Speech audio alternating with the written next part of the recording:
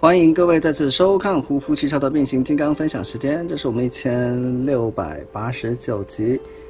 今天有点疲劳，啊，跟七夕情人节没有任何关系啊，或者是纯粹的工作量比较大。但是我今天晚上坚持一定要更新，因为我要玩一个老梗，就是为什么情人节的晚上你们还要看胡夫汽车的节目呢？你们有这么样的凄惨吗？啊 啊，各位就嗯，其实每天也是这样过了啊。今天其实是星期二啊，没有什么情人节了啊，这我就不懂了。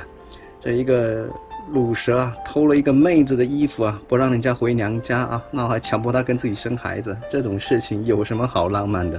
今天给大家做的这一款翼龙啊，是最近官方的，这个是属于核心级的小比例玩具当中，可以组合成合体的恐龙战队里头呢，我个人觉得目前为止吧，算是表现最好的一个。除了后方的这个缺口之外，已经没有什么可以挑剔的，可以说是把人形跟兽形的话呢兼顾到最好的一个了。那我们来看一下啊，细节的话呢，细节刻线来讲，脸部漆可能厚了点啊，稍稍有点糊，眼睛是金属蓝色，头部的话呢，由于变形的需要啊，后面有个开口啊。那么手臂的话呢，可以平举三六零度的转动没有问题，而且还是比较偏紧的一个手感。你看这样子啊，这个手臂可以说是非常有力气的，手肘也是球关。那拳头当然是无法转动了啊。附带的一对的武器，这武器的话呢，我们就暂时的将它给取下来。脚的话呢，你可以很明显看到这里有一个恐龙的小小脚在这里。那这个张张开的话，这里是它可能比较大的一个破绽了。不过作为一款消费力玩具啊，应该呃没有人会去计较这个了啊。那它的变形的啊，先先我们先对比一下了，这个是牺牲最惨的，这个是雷龙啊，以及各各种四不像的一个状态啊。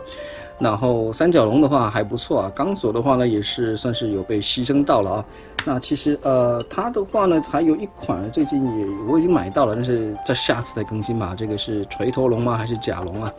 这个造型兽形我看起来我还喜欢，但是这个恐龙形态啊，人形态好像稍微弱了点。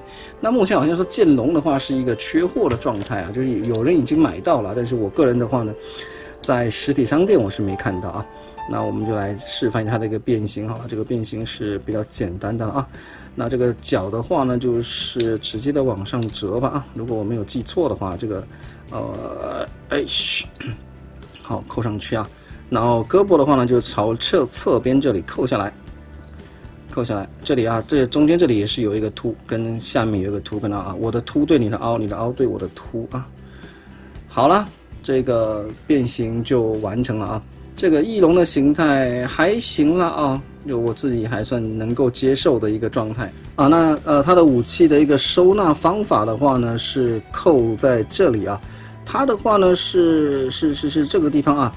这个比较不容易看见，这里有一个洞，方呃方形的洞跟圆形的洞在这里，就是对应这个地方圆跟方，啊我我我应该是扣这一边啊，扣这边可能比较好一点，好这样扣下来就会在侧边，但是我我我感觉吧，就是位置好像算的没有很好，OK 这样子，但是也也也从上方看是没有什么问题啊，基本上也可以，武器的收纳算是可以给过啊，那。那么它的一个合体的时候呢，它是成为这个合体家伙的右手啊。那变形成手的话很简单啊，就把这个脚的话给解开，那这两侧松开之后啊，下半身翻转一百八十度，然后将翅膀折进来。这个手臂的话呢，应该是可以的话，就是把上方这里啊稍微扣一下，然后呢把这个刚刚的这个武器啊，两个武器中间其实它是可以组组合的，就看一下对应一下凸跟凹就扣起来了。然后呢，它的对应这里有两。个这里白色就黑中有白啊，黑中有白的这个呃部件把它扣上去到这边啊，如果我没有变错的话，应该就是就是这样子，这个就是它的一个胳膊啊，还有这里组合的一个位点在这啊发出来啊，这里可以跟本体来做一个一个一个组合。那这个的话呢，就是呃我也不知道是不是叫修罗王啊，它的一个还是叫龙龙龙岩王是吧的一个右手啊，就这个样子。